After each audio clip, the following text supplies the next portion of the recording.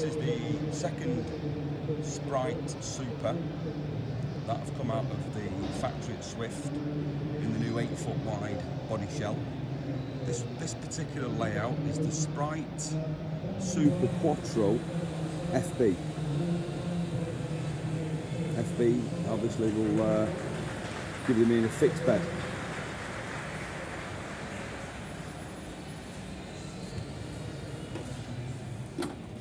So as we walk in, we're meted by the uh, U-shaped uh, centre lounge with the pop-down table, and that'll make the base of one double bed.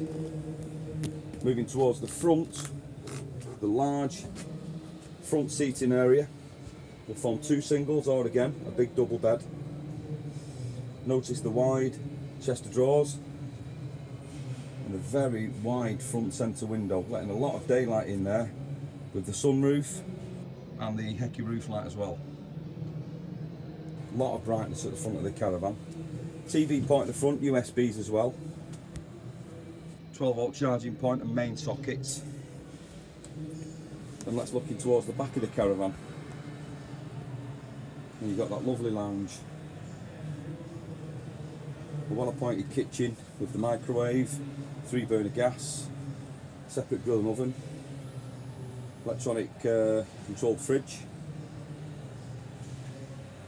And the big fixed bed towards the back. Two wardrobes near side and off side the near side one's mirrored. And, those wardrobes are very deep. So you've got the Duvalay Gravity Lux mattress. Loads of locker spaces in the bedroom